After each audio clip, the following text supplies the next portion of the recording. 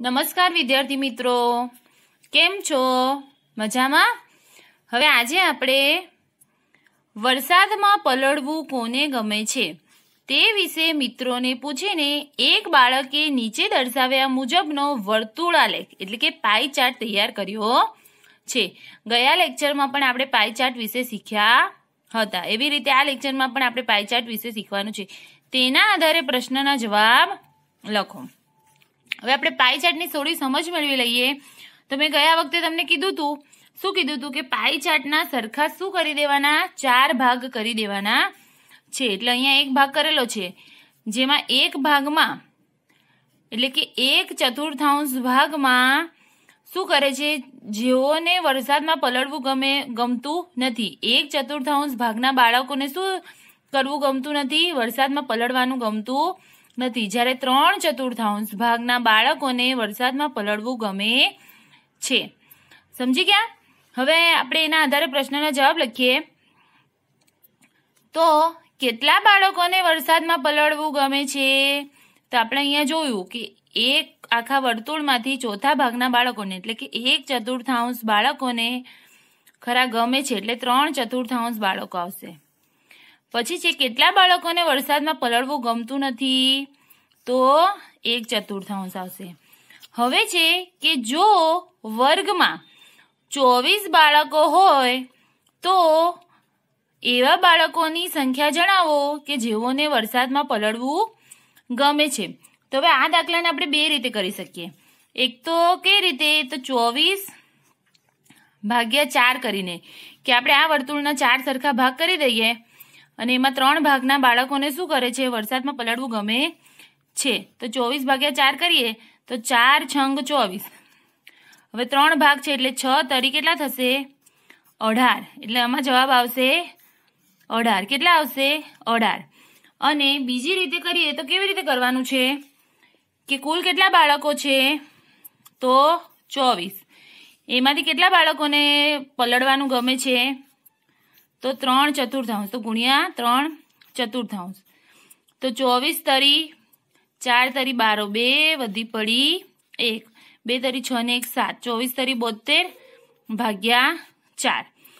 તો આમાં આપણે બોતેર ભાગ્યા ચાર કરીશું, તો ચાર એકા ચાર ચાર દુ આઠ. એટલે આઠ મોટા થઈ જશે, એટલે ચાર એકા ચાર.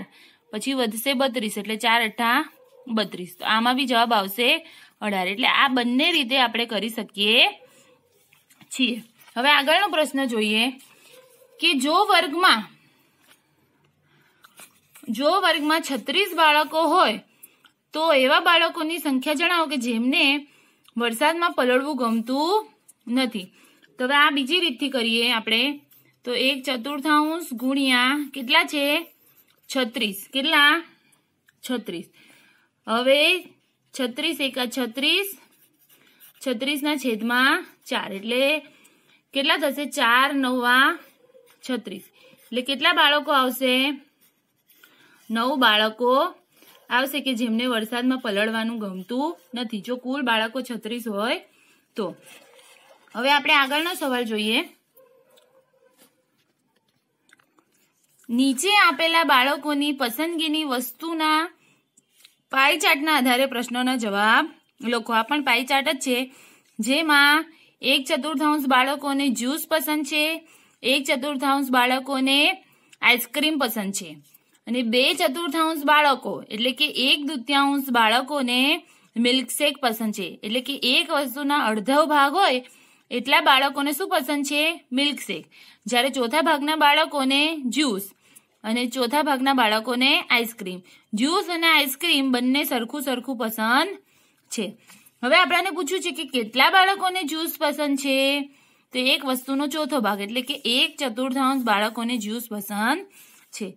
કેટલા બાળકોને આઈસ્ક્રીમ પસંદ છે? તો એ પણ એક ચતુર્થાંશ બાળકોને આઈસ્ક્રીમ પસંદ છે. મિલ્કશેક પસંદ કરતા બાળકો કેટલા છે? તો એક ચતુર્થાંશ, ત્રણ ચતુર્થાંશ કે એક દ્વિતીયાંશ? તો એક દ્વિતીયાંશ, એટલે કે એક વસ્તુનો અડધો ભાગ.